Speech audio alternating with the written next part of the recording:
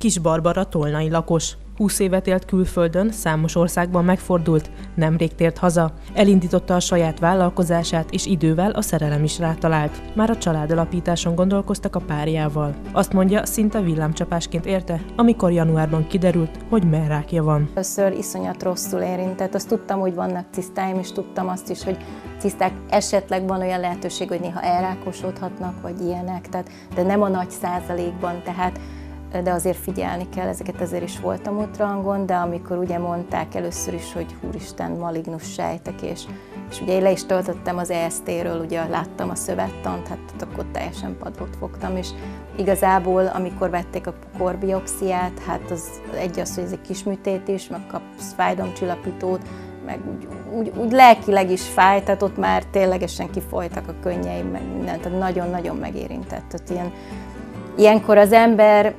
úgymond, hát nem is tudom, tehát ugye azzal szembesül, hogy úristen daganatos vagy, és tehát nekem ez nem egy első dolog, hogy ilyenekkel találkozok, mert ugye életmód tanácsadó is vagyok, tehát munkámból kifolyólag meg már évek óta voltak emberek a, úgymond a vonalaimon, akiknek segítettem, daganatosok, rossz állapotban lévő, jobb állapotban lévők. Tehát tudom, hogy mit kell csinálni, meg látom ezeket a dolgokat, csak ténylegesen, amikor veled történik, akkor éreztem, vagy akkor láttam, hogy akkor tényleg nem, tehát addig nem tudod a, a cipőjükbe képzelni magadat, amíg ez veled nem történik meg. És amikor veled megtörténik, akkor hirtelen az az első, ugye nagyon sok minden átfut az emberen, és főleg ugye az az, az egy dolog átfut, hogy most nekem mennyi az az annyi.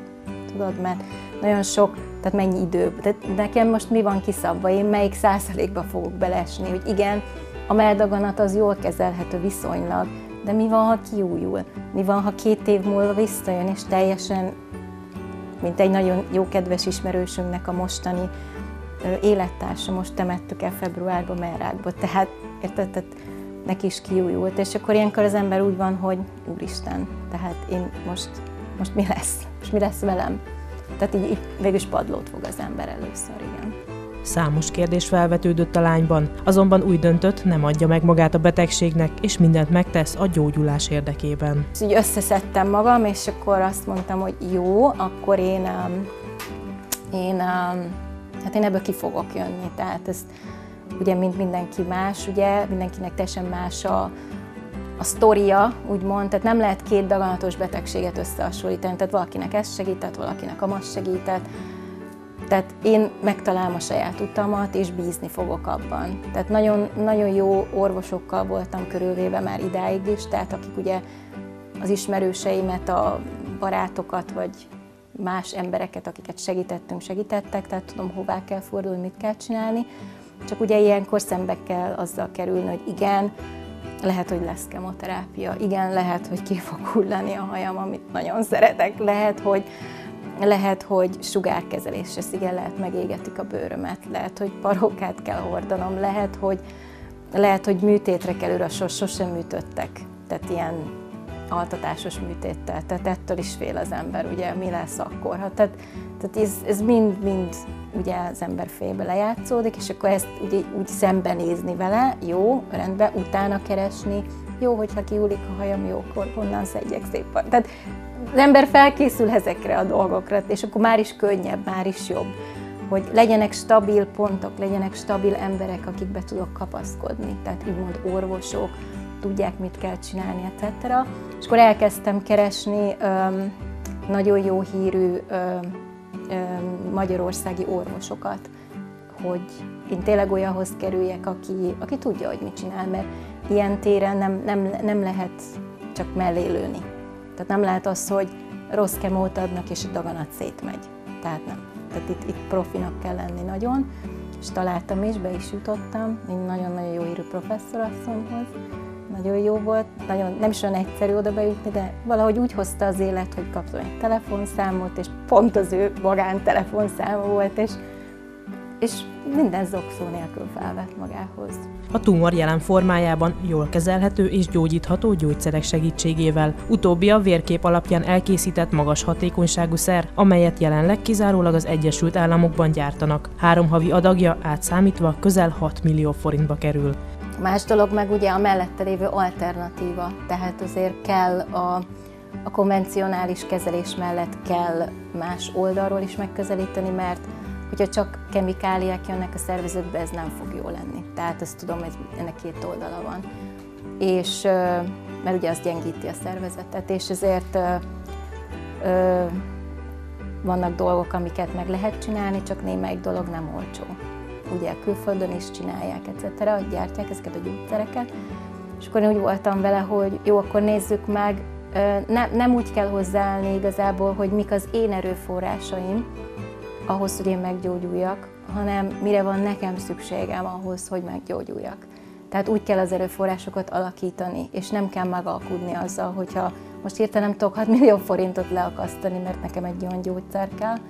Nem, akkor én megtalálom a módját annak, hogy, hogy akkor legyen. És akkor így indult el a tőkeszerzés. Nagyon hatásos. És nem csak a meldaganatra, hanem nagyon sokféle daganatra. És és tudom, mert ezt ugye tesztelték, használták nagyon sokáig, csak éppen ugye az ember saját vérképére készül, és ezért ugye nem olcsó, meg ugye az USA-ban is, ugye ezt az itteni tévé nem fogja támogatni, tehát én pedig viszont úgy gondoltam, hogy én nem fogok úgymond öt évre tervezni, tehát én elég fiatal vagyok, ahogy mondod, én még szeretnék gyereket, én még tehát nagyon sok minden az élet előttem áll, tehát nem, itt nem fogok megállni. Tehát nem úgy van, hogy...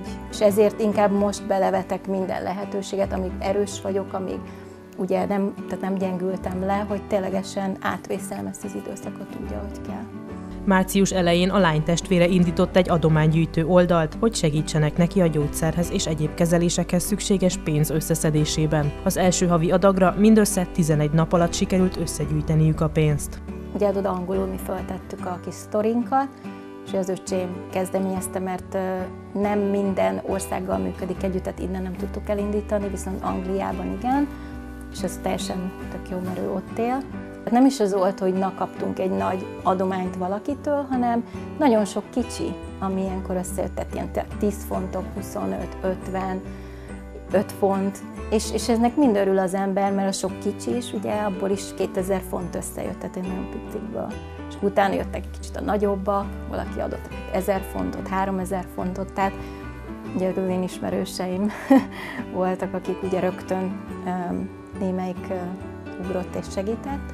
Anyukámék nagyon-nagyon támogatnak ebben, tehát mindenben segítenek, orvoshoz visznek, eljönnek velem, akkor ugye a párom, az élettársam, ővel élek tolnán, ő most éppen dolgozik tűzoltó, és hát ő is nagyon, nagyon mellettem áll a családja, tehát mindenki nagyon-nagyon támogat természetesen. Egy kicsit új volt nekik, némelyiknek, hogy ú, ezt a tőkeszerzés, és tudod, hogy most mindenki van a neten, de én nem úgy vagyok vele, hogy én ezt szégyellem. Én inkább ezzel azt is szeretném elérni, hogy, hogy szeretnék segíteni másoknak ebbe. Tehát, hogy, hogy kicsit néha változzon meg a nézőpontjuk, hogy lehet tenni, és, és igenis forduljanak a, az ismerősökhöz, a családhoz, mert néha azon múlik az, hogy, hogy ők hogyan fognak ezen, ezen és, és nagyon sokan szeretnének segíteni, tehát, tehát ténylegesen ezt, mert sokat hallottam olyat, hogy emberek eltitkolják, hogy nekik ez van, az van, de nem lehet, nem szabad.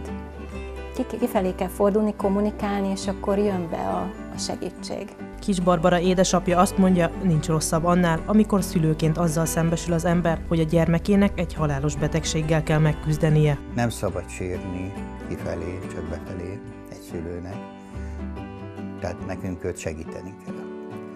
Szerencsére, hogy ő nagyon erős jellem. Amikor az interneten megnézte az eredményt, és kijött a szobába, és akkor azt mondta, hogy hogy apa, anya rossz indulatú daganaton van, áttétes.